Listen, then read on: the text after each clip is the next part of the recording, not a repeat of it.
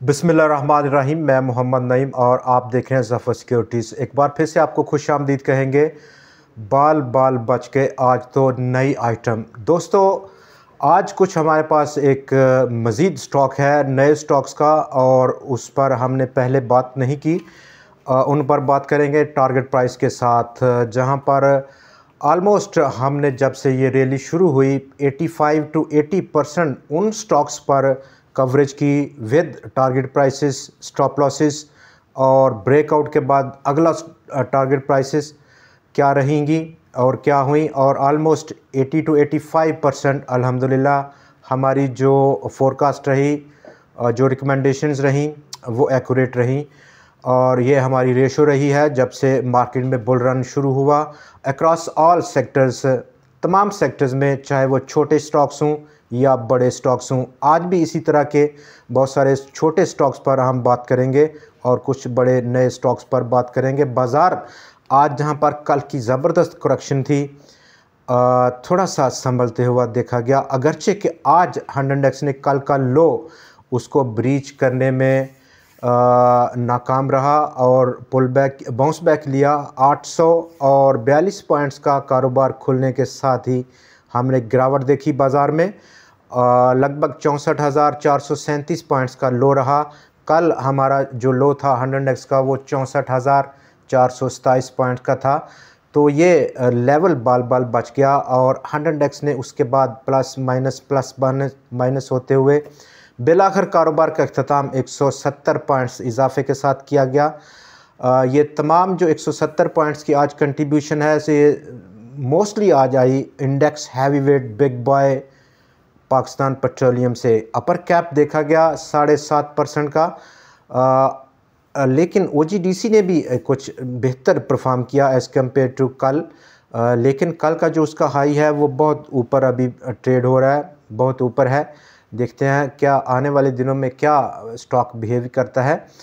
और अपसाइड जो hundred x का रहेगा डाउन साइड क्या रह सकता है? अपसाइड के लिए हमें देखना होगा कल का जो हाई था अभी स्टिल बहुत दूर है। आज के जहाँ पर बाज़ार बंद हुआ पैंसठ हज़ार चार सौ पचास पॉइंट्स की सतह पर 60 के लेवल्स का कल का हाई था। आ, उसकी ब्रीच आउट के बाद हम एक नया ट्रेंड एक्सपेक्ट करेंगे बाज़ार में। अनटिल डाउन साइड अगर हम देखें तो कल का ही लो जो कि आज भी बड़ी मुश्किल से बचा और हंड्रेड इंडेक्स ने वहाँ से बाउंस बैक लिया चौंसठ हज़ार चार सौ सताईस पॉइंट्स का।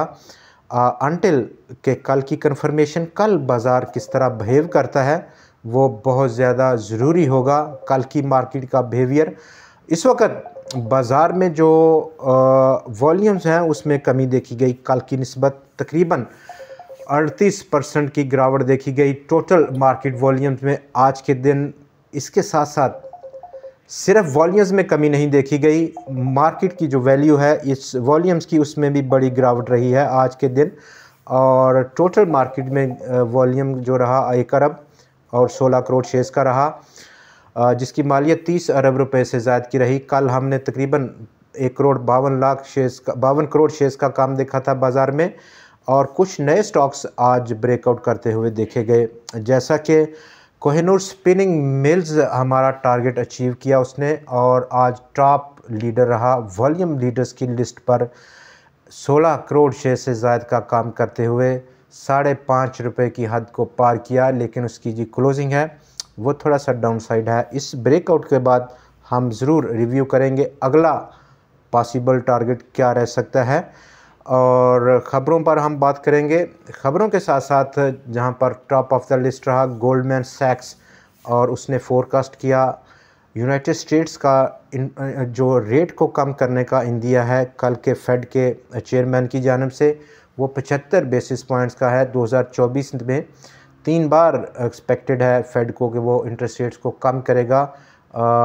डिपेंडिंग ऑन इस वक्त जो करंट उसके पास डेटा है, तमाम डेटा इन्फ्लेशन और लेबर मार्केट न्यू हायरिंग तमाम चीज़ों को कैलकुलेट करते हुए, लेकिन गोल्डमैन सैक्स की फ़ोरकास्ट उससे मज़ीद आगे जा रही है, वो कहता है मोर देन वन परसेंट की रिडक्शन एक्सपेक्टेड है 2024 में इंटरेस्ट रेट्स की यूएस में। सेल अब अप्रूव किया उसने।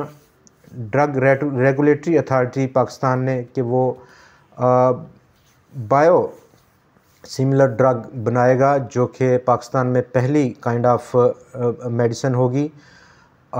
जोड़ों के दर्द के लिए बेसिकली ये मेडिसिन इस्तेमाल होती है। और अब जोड़ों के दर्द के अमराज में जो आ, लोग मुबतला हैं उनके लिए एक बेहतर न्यूज़ है।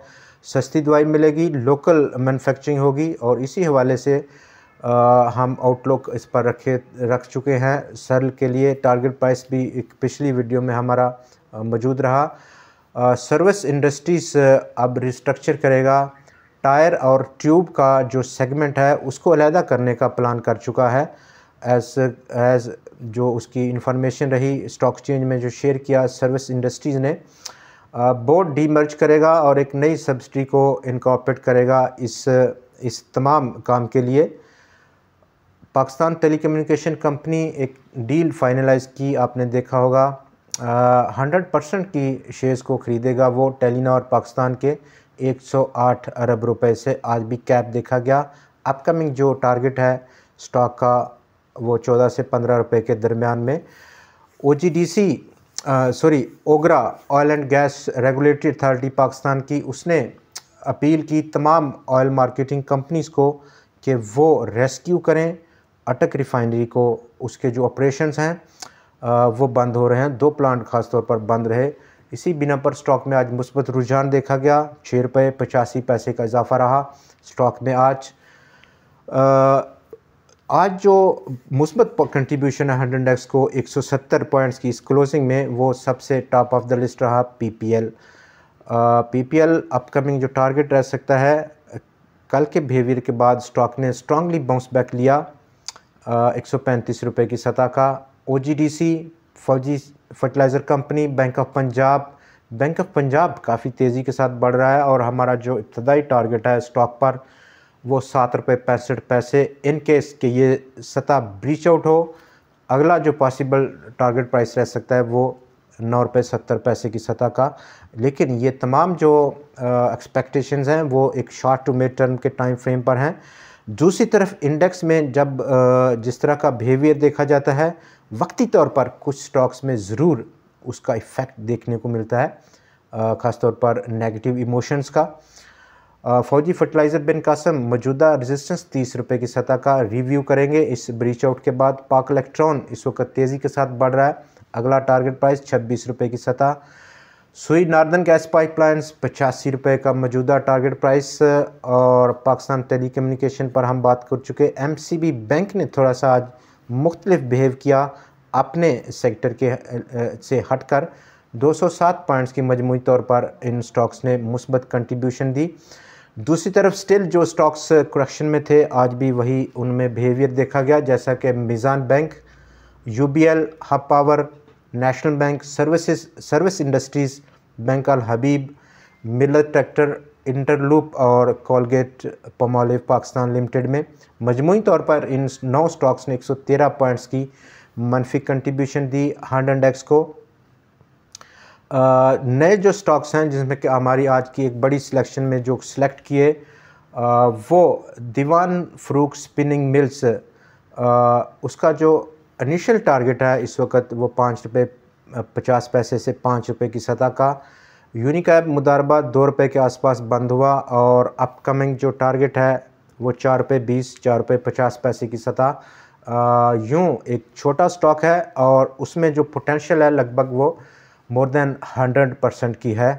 ट्रीट कॉरपोरेशन 19 दिसंबर को स्टॉक का जो राइट शेयर है ट्रीट राइट वो बंद हो रहा है, उसमें ट्रेडिंग बंद हो जाएगी। लेकिन कंसोलिडेशन और जो अकामुलेशन फेस हम देख सकते हैं, इस जब ये राइट की ट्रेडिंग बंद होगी ट्रीट कॉरपोरेशन में तो डेफिनेटली ट्रीट में जो एक्सपेक्टेशन है, वो एक बुल रन की है। एक बुलिश सेंटीमेंट प्रिवेल कर सकते हैं और एक पोटेंशियल स्टॉक अपना सकता है अपसाइड में बुल रैली की सूरत में। Chakwal spinning mills Chakwal spinning mills आज ब्रेकआउट कर गया और हमारी रिकमेंडेशन में था, आपको मालूम होगा, दो रुपये के आसपास पाँच रुपये पचास पैसे की सतह को अबूर कर गया स्टॉक आज के दिन। नेक्स्ट जो पॉसिबल अब रेजिस्टेंस या टारगेट रह सकता है वो सात रुपये बीस पैसे की सतह का। सी टी एम यानी कि C T M colony textile mills तीन रुपये पैंसठ पैसे की क्लोजिंग थी। स्टॉक की अपकमिंग जो टारगेट है वो पाँच रुपये और बीस पैसे या तीस पैसे की सतह का एफ़ टी डबल एम, यानी कि सात रुपये की क्लोजिंग रही स्टॉक की, बारह रुपये बारह रुपये पच्चीस पैसे या बारह रुपये पचास पैसे का इब्तदाई टारगेट प्राइस रह सकता है। शाहीन इंश्योरेंस, चार रुपये सत्तर पैसे की ब्रेकआउट रहा। आज स्टॉक अब नेक्स्ट जो पॉसिबल इनिशियल टारगेट है वो सात रुपये जबकि उसकी ब्रेकआउट के बाद अगला पॉसिबल टारगेट दस रुपये की सतह का देखने को मिल सकता है। फौजी फूड्स तेज़ी के साथ सरगर्म है और अपकमिंग जो हमारा टारगेट प्राइस है फौजी फ़ूड में वो चौदह से पंद्रह रुपये की रेंज में है। स्लो आइटम है लेकिन कंसिस्टेंट अप ट्रेंड में है। World call Hascol bank of Punjab Hascol भी काफ़ी अच्छी क्लोजिंग में देखा गया आज आठ रुपये तैंतीस पैसे। इनिशियल जो टारगेट रहा हमारा वो आठ रुपये बानवे पैसे जबकि उससे अगला पॉसिबल टारगेट बारह रुपये चालीस पैसे की सतह का। कल आपसे फिर मुलाकात होगी। नए मार्केट के तजिए के साथ तब तक के लिए हमें इजाज़त दीजिए। खुदा हाफिज़।